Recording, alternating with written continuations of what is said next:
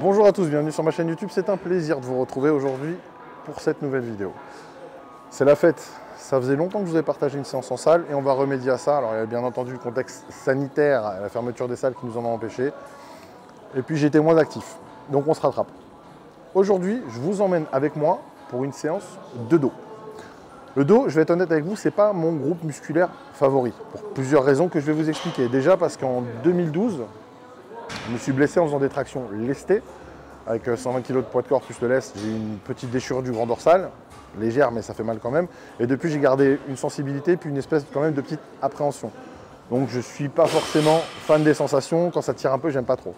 Euh, deuxièmement, et surtout pour ça, c'est parce que pendant très longtemps, le dos, c'est un groupe musculaire que j'ai eu beaucoup de mal à sentir, je pense comme beaucoup d'entre nous. Et je pense que c'est dû au fait qu'en fait, on n'a pas de visuel dessus quand on le travaille et c'est plus difficile de se, concentrer sur la contraction, d'avoir un bon ressenti. Hein. Vraiment, on sait que la relation cerveau-muscle, le visuel aide énormément. en fait, pendant très longtemps, j'ai eu du mal à le sentir et je l'ai un petit peu pris en, groupe, en grid, pardon, ce groupe musculaire.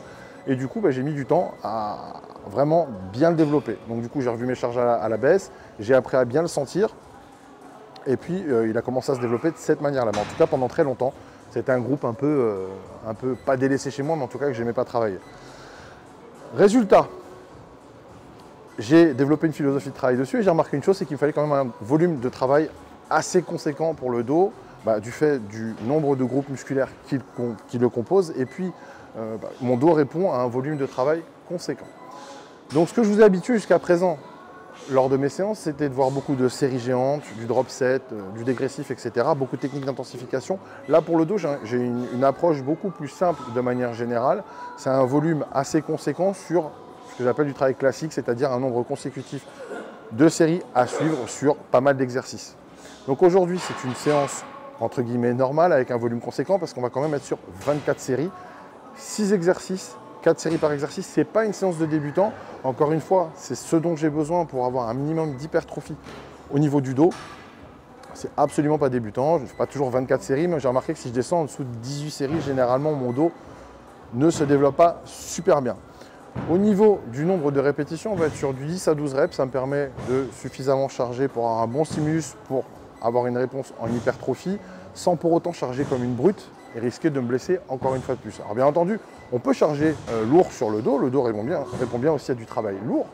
Euh, c'est juste que je ne veux plus le faire en plus je trouve que quand on charge lourd sur le dos, il y a, le, bas du dos dans certains exercices qui est mis en porte-à-faux, normalement sur des rowing, sur des soulevés de terre, sur, du T-bar ou alors parfois même une longue portion du triceps qui a tendance à se déchirer sur des mouvements de tirage lourd. Donc on fait attention à tout ça. Au fur et à mesure des exercices, je vais vous donner 2-3 astuces euh, pour avoir un bon ressenti, des choses à faire, à ne pas faire. Et vous allez remarquer que je bosse avec les sangles de tirage. Sur le dos, c'est vraiment quelque chose que j'adore, non pas par manque de force au niveau de ma prise, mais tout simplement parce que ça me permet de me servir de mes mains plus comme crochet et de vraiment me concentrer sur le fait que je tire avec mes coudes, que je veux tirer mes coudes en arrière, plutôt que de tirer forcément tout avec les bras. Voilà, c'est un petit truc que vous pouvez essayer. Vraiment vous servir de vos mains comme d'un crochet avec la sangle de tirage, c'est fait pour ça. Et puis si vous avez besoin de travailler votre, force et votre prise, vous pouvez travailler séparément sur d'autres exercices. Maintenant assez de blabla et place à l'action, on se retrouve en salle. Ok, donc on commence par un classique que j'ai toujours vu en salle de sport, alors pas sous cette forme-là, c'est la forme magique et magnifique du hammer strength, mais en tout cas le tirage vertical, c'est vraiment l'exercice que je me souviens depuis la première fois que j'étais en, salle de muscu, c'est vraiment l'exercice que j'ai toujours vu dispo. C'est un exercice, c'est vraiment, euh, j'ai toujours été là. c'est comme le, pardon, c'est comme le butterfly. Aussi longtemps que je me souviens d'avoir été en salle de muscu, c'est vraiment tirage vertical, tirage horizontal et euh, butterfly, c'est vraiment les machines que j'ai toujours vues. Donc on commence par le tirage vertical. On a du hammer strength à disposition, donc on en profite. Et euh, donc cette machine-là, c'est ce l'équivalent du tirage vertical à la poulie que vous trouvez en salle. On travaille les grands dorsaux. Donc les grands dorsaux, c'est ces deux muscles qui font euh, l'évasement du dos, cette fameuse forme en V. Donc consigne, comme sur toutes les machines, on va prendre bien attention à ne pas se laisser emporter sous peine de blessure euh, parce qu'il faut garder un contrôle de la charge dans la phase négative du mouvement, donc on ne se laisse pas emporter. On ne tend pas les bras à outrance et on essaie vraiment, quand on descend, de tirer avec le coude. Absolument. Il faut vraiment avoir ce ressenti de crocheter avec les mains et de tirer vraiment avec le coude, descendre le coude en direction des côtes, légèrement en arrière. C'est vraiment ça qui va faire travailler votre grand dorsal. Donc essayez dès le début de votre séance de, vous, contrôler votre pensée, votre ressenti et de sentir ce qui se passe à ce niveau-là. Plus vous allez faire ça, plus vous allez congestionner vite. Et je le répète, la relation cerveau-muscle, c'est pas du blabla. Si vous avez cette connexion qui se fait, vous allez les sentir. Moi, c'est comme ça que j'ai vraiment appris à, à, bien travailler mon dos. Avant, je le faisais de manière très mécanique et j'avais pas de résultat. À partir du moment où j'ai baissé mes charges, j'ai arrêté de faire de l'ego lifting et j'ai baissé mes charges, il s'est passé deux choses. C'est que mon dos s'est développé et puis j'ai pu après remonter les charges parce que la force est venue euh, puissance 10. Donc on y va pour du tirage vertical. Let's go.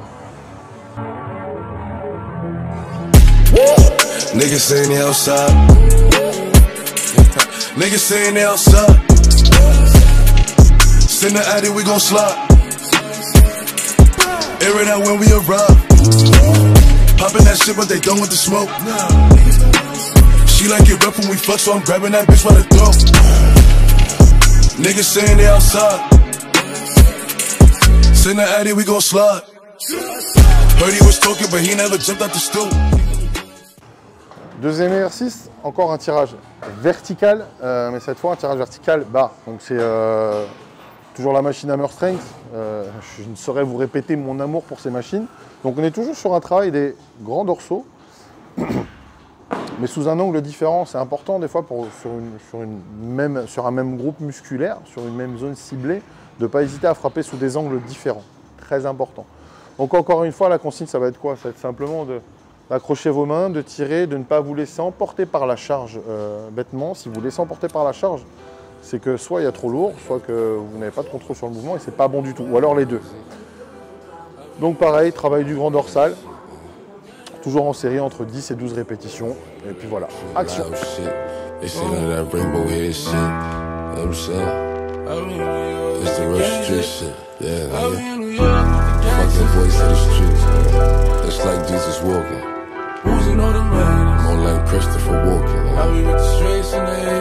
like Jesus walking. Oozing on the man. More like Christopher walking. I be with the streets and the apes. Yeah, I know what's up. On the stone.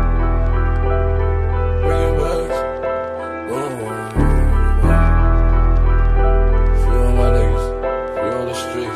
I'll be in New York with the gangsters. Know a nigga that'll shoot you for a tandem. If my ops is chillin' in the foreign, then my nigga shooting up the phantom. I'll be in New York with the gangsters. Know a nigga that'll shoot you for a tender. If my ops just chillin' in the foreign, then my nigga shooting up the phantom. 4-4 got a kickback, click clack, get back. Shots hit your rip pack, or you could get chin chat. Et troisième exo, ça commence à tirer un peu dans le dos, hein, je vous rassure, je commence à le sentir passer. On est sur le rowing convergent machine hammer. Donc cette fois, on va bosser bas, pardon, 3, 1, 2, 3, bras par bras. Euh, J'aime bien, la capacité d'isoler sur cette machine. On peut le faire hein, sur toutes les machines Hammer, on peut, on peut, on peut isoler sur, toutes. Mais celle-là, ça me permet vraiment de me concentrer sur le, mouvement de tirage. Donc là, on commence à travailler sur l'épaisseur du dos. Sur, euh, une machine, on va avoir une prise en pronation. Donc on va vraiment cibler euh, le trapèze, les parties moyennes et inférieures, le grand rond, le petit rond et le rhomboïde. Donc là, on est vraiment sur tous ces muscles qui commencent, qui tapissent l'intérieur du dos et qui donnent l'épaisseur au dos comparativement aux, aux deux tirages d'avant qui étaient des tirages où on travaillait l'évasement.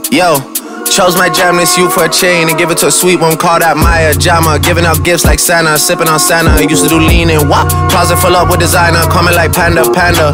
Yeah, gal just came to the booth and asked for a wheel. She never heard drill in Atlanta. Arabic ting told me that I look like Yusuf, look like Hamza. Habibti, please. Ana Akid, Inte Oana Akhla. Whip hop skull in Gaza, but not that Gaza, but still it's a Maza. Niggas want peace like a Saba, but we let bridge them burn like grabba. Boy, four in the clears and one in the heady. Hand don't shake, man, hold that steady. Man, love pose with a ting for the pick. Ok, donc quatrième exercice. J'ai le dos en feu. Rowing alter. J'aime bien cet exercice-là parce que même si j'aime pas travailler lourd, on peut bourriner un petit peu dessus. Juste, faut quand même avoir une forme d'exécution stricte.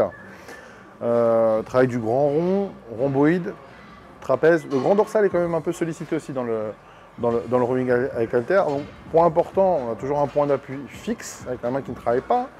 Et on essaie vraiment de garder le buste stable. C'est-à-dire que monter la charge en bougeant le buste, j'exagère un peu, mais on en voit faire ça, c'est pas bon du tout. Donc on essaie vraiment d'avoir un mouvement où le buste est le plus fixe possible, même si quand on bourrine un peu, ça va bouger un peu. Se retrouver avec le buste face au côté où on travaille, c'est pas bon du tout. Donc ça, annule, la qualité du travail. Donc pareil, on tire, le coup de bien en arrière. on essaie de bien ressentir ce qui se passe. Même si vous bourrinez un peu, ça ne vous empêche pas de contracter fort et de ressentir ce qui se passe. J'aime bien, sur celui-là, je, vais être honnête avec vous, j'aime bien bourriner un petit peu et travailler quand il y a des haltères assez lourds. Alors on bosse à 60 kg, même si à 70 kg, j'aime bien bosser avec. Voilà, c'était l'instant ma vie. Maintenant, bah, place à l'action.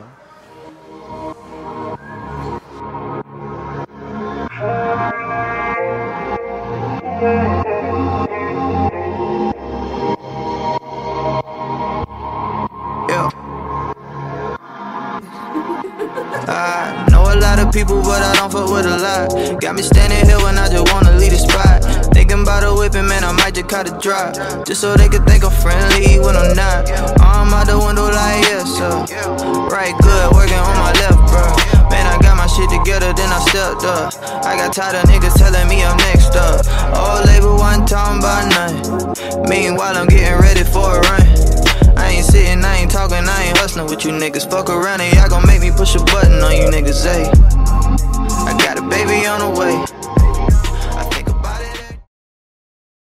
Ok, cinquième exercice. J'ai le dos explosé sa maman. Retour sur les grands dorsaux. Cette fois, par contre, on va essayer de cibler les fibres inférieures, fibres basses des grands dorsaux. Avec le tirage fully haute, prise neutre. Donc très simple, toujours les mêmes consignes. On ne se laisse pas emporter par la charge. Je vais le répéter tout le temps, mais ne vous laissez pas emporter par la charge de juste à la limite décrocher un petit peu l'épaule, mais c'est tout. Ne pas partir avec la charge.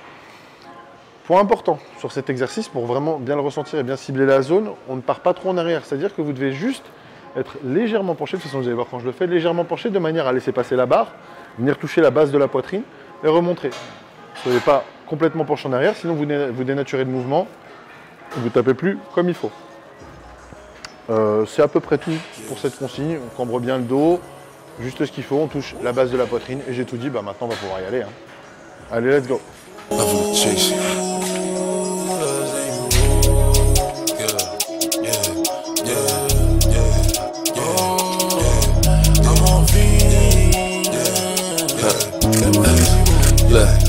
Are you dumb? Look, you I a got the driven kid straight from the force. But it's the deal, deal. They know it started.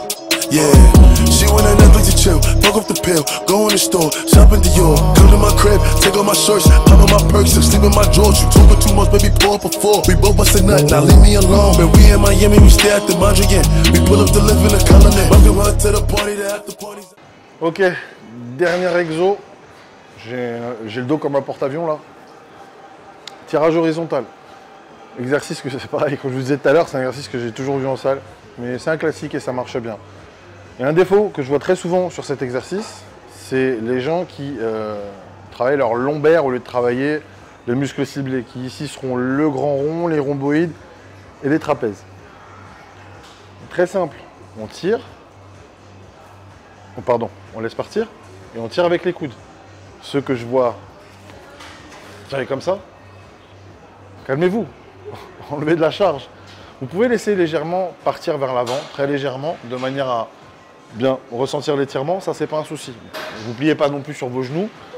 Et par contre, quand on tire, on redresse le dos, on garde le dos bien droit et on tire avec les coudes, direction du nombril. Super important parce que alors c'était, euh, c'est, euh, je crois que j'ai dû voir euh, Ronnie Coleman, j'ai dû voir Schwarzenegger le faire comme ça.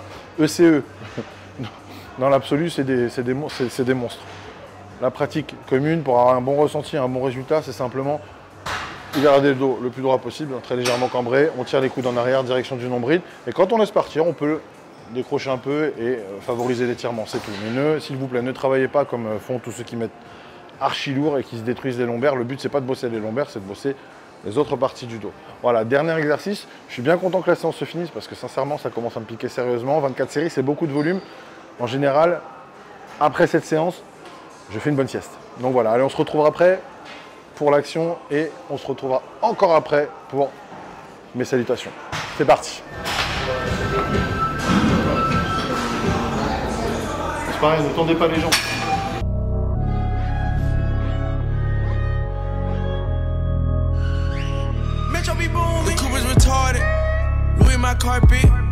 Don't gotta start it.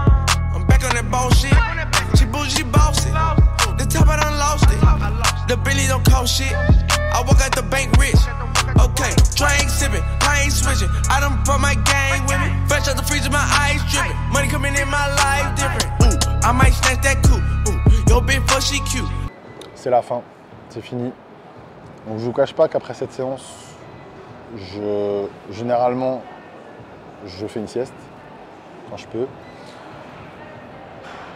Je crois que je crois, je crois, je crois que la séance pour le dos, elle me tabasse plus que la séance pour les cuisses. Après, euh, j'ai plus de volume sur le dos. Parce que les cuisses, c'est pas un groupe problématique pour moi. Et là, je suis bien tabassé. Je, reprends mes esprits tranquillement. Donc j'espère déjà que le contenu vous a plu. Je vous en partagerai d'autres des séances avec, euh, grand plaisir. Euh, que dire pour la fin? À part répéter ce que je n'ai dit des 200 fois pendant la vidéo, mais je vais le répéter encore parce que je crois que des fois ça a du mal à rentrer. Adaptez votre charge de travail. Pour le dos comme pour tout. Adapter votre charge de travail, ça veut dire quoi? C'est une charge que vous allez manipuler correctement sur une amplitude complète, la plus complète possible. Euh, Vous n'allez pas tricher, un mouvement propre. Et une charge qui va vous permettre de bien vous concentrer sur la relation cerveau-muscle, qui va vous permettre de bien isoler, bien ressentir le muscle que vous allez travailler. C'est super important. Cette relation cerveau-muscle, est super, super, super importante. C'est vraiment en, ressentant vos muscles que vous apprenez à les développer. Et même pour les débutants, qu'on peut encore cette, euh, ce ressenti, je dis toujours que c'est par la courbature qu'on apprend à s'approprier son muscle. C'est-à-dire que d'une séance à l'autre, un débutant, il sent que, même s'il ne sent pas pendant sa séance ce qu'il fait, en tout cas, le fait d'avoir des courbatures à cet endroit-là, ça va donner une indication au cerveau de la zone qui est travaillée. Petit à petit, on s'approprie ses muscles de cette manière-là aussi. Donc, travaillez avec des charges cohérentes. Cherchez pas à faire les bourrins. De temps en temps, vous pouvez bourriner un petit peu si vous avez un niveau qui commence à être avancé, mais euh, de manière euh, générale, si on bourrine trop longtemps, on finit par le regretter. J'en suis le meilleur exemple. Donc, charge cohérente, toujours. C'est ce que je vous ai dit plusieurs fois pendant la vidéo et c'est ce que je vous répète encore, c'est super important. Euh, deuxième point, bah, euh, ce qu'on a dit en début de vidéo, et vous m'avez vu bosser avec pendant tout le temps, n'hésitez pas à bosser avec les sangles de tirage. Euh, Il y en a qui vont dire oui, hein, mais oui, mais c'est pas bon pour la prise. Ta prise, tu peux la, bosser autrement. Tu peux la bosser sur d'autres exercices. Tu as, des exercices exprès pour améliorer ta prise. Là, on a une recherche d'hypertrophie du dos.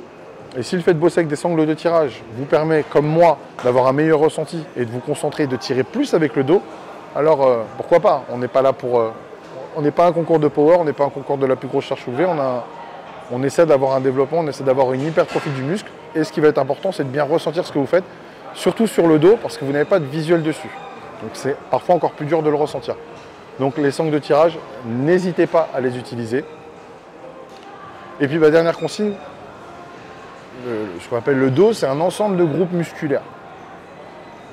Donc ça demande d'être euh, travaillé sous plein d'angles différents. Là, on a essayé d'avoir une bonne représentation pendant toute la séance, mais ne faites pas toujours les mêmes exercices pour votre dos et pensez bien travailler la largeur et l'épaisseur de votre dos. Il y a des gens des fois même qui divisent euh, leur séance, un coup largeur, un coup épaisseur. C'est pas bête non plus, vous pouvez faire les deux au sein de la même séance, mais si ça vous fait des séances un peu trop longues à votre goût, vous pouvez séparer. En tout cas, pensez à régulièrement changer vos exercices, mais c'est valable pour tous les muscles, mais peut-être encore plus pour le dos qui a besoin d'être travaillé sous plein d'angles, sous tous les angles possibles et imaginables. Voilà, ce seraient mes, mes trois consignes pour terminer cette vidéo. Bien entendu, le petit disclaimer habituel. Si cette vidéo vous a plu, n'hésitez pas à la liker, à la partager. Si vous n'êtes pas encore abonné à cette chaîne, alors qu'est-ce que vous attendez? Abonnez-vous. Si vous avez des questions, n'hésitez pas à les poser en commentaire et j'y répondrai avec le plus grand des plaisirs.